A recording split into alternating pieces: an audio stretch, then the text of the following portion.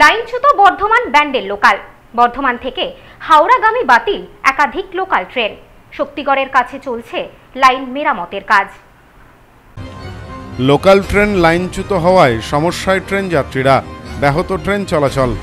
বুধবার রাত নটা পনেরো নাগাদ বর্ধমান ব্যান্ডেল ডাউন লোকাল, পূর্ব বর্ধমানের শক্তিগড়ে ঢোকার আগে একটি তেল বোঝাই মালগাড়ির সাথে ধাক্কা লাগে।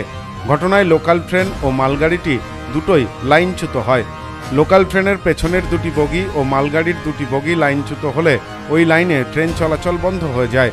মেন লাইনে ট্রেন চলাচল বন্ধ হয়ে যাওয়ায় ঘুরপথে ট্রেন চলতে থাকে। এক্সপ্রেস ও মেল ট্রেনগুলিকে ঘুরপথে কাটোয়া, আমোদপুর হয়ে পাঠানো হচ্ছিল। বুধবারের ঘটনার পর বৃহস্পতিবার সকালেও ট্রেন চলাচল স্বাভাবিক হয়নি। পাশে দুটি আপ ও ডাউন লাইন থাকায় সেই দুটি দিয়ে ধীর গতিতে বেশ কিছু এক্সপ্রেস ও মেল ট্রেন পাস করানো হয়েছে। লোকাল ট্রেনগুলিকে কড লাইনে বর্ধমানে পাঠানো হচ্ছে। এ বিষয়ে কাটোয়া স্টেশন মাস্টার সন্দীপ দাস জানান, দুর্ঘটনার জন্য এক্সপ্রেস ট্রেন ঘুরিয়ে দেওয়া হচ্ছে, ফলে দেরিতে গন্তব্যে পৌঁছাচ্ছেন যাত্রীরা।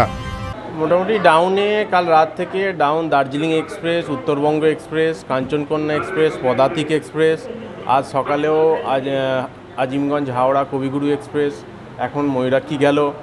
এরপরেও আরও ডাউন কুলিক এক্সপ্রেস এছাড়া শতাব্দী এদিক দিয়ে যাওয়ার কথা আছে। এতে একটু মানুষের সময় বেশি লাগে। এতে হ্যাঁ গাড়িগুলো ঘুরিয়ে দেওয়া হয়েছে তাই জন্য সময় তো একটু লাগছে। কখন কিছু ঠিক হবে জানা গেছে? এখনও পর্যন্ত কিছু ফাইনাল বলা যাচ্ছে না কাজ চলছে। বিষয়টি নিয়ে প্রতিক্রিয়া দিয়েছেন সাংসদ অধীর চৌধুরী। তিনি বলেন ট্রেন দুর্ঘটনা ঘটতেই পারে তবে দুর্ঘটনার কারণ খুঁজে বার করতে হবে। মোদী সরকার ট্রেনের গতি বাড়ানোর কথা বলছে, রেলের পরিকাঠামো বাড়ানোর কথা বলছে, কিন্তু যাত্রী সুরক্ষার বিষয়টি আরও ভাবা উচিত সরকারের। লাইনচ্যুত হতে পারে ট্রেন, তার জন্য দেখতে হবে কেন লাইনচ্যুত হচ্ছে, রক্ষণাবেক্ষণের অভাব, ত্রুটি এগুলো দেখতে হবে।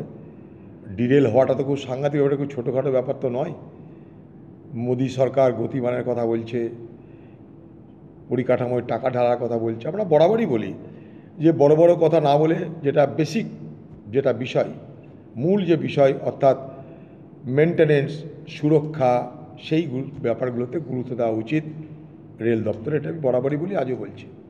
এ বিষয়ে হাওড়া ডিভিশনের public safety officer Utpal Dutta জানান।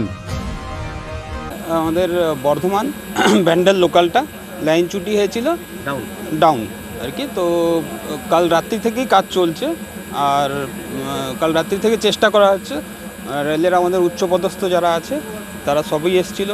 আমাদের সবই উচ্চপদস্থ যারা ছিল, সব এসছে। আর জিএম স্যার এসেছিল, ডিআরএম স্যার এসেছিলেন। আর বাকি আজ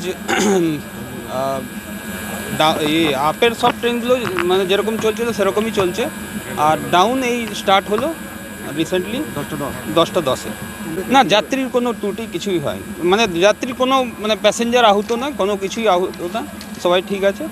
যান্ত্রিক ত্রুটি সেটা এখন তদন্ত হোক তদন্ততে আমরা বুঝতে পারব। লোকালে কটা বগি ডিটেল হয়েছিল? লোকালে আপনার প্রথম দুটো বগি। মালগাড়ি ডিরেল হয়েছিল ওটা তদন্ত হোক তারপরে আমরা মালগাড়ি কি ধাক্কা মারে তো? মালগাড়ির সঙ্গে ওর সঙ্গে মানে এ হয় তো- তো ওটা তদন্তর পরেই আমরা আপনাদের বলতে পারি আমাদের উচ্চপদস্থরা তদন্ত চলছে আর আমরা খুবই দুঃখিত যে এই ঘটনাটা ঘটেছে।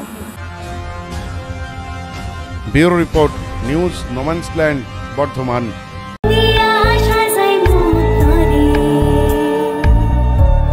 সৌন্দর্য শাড়িতেই।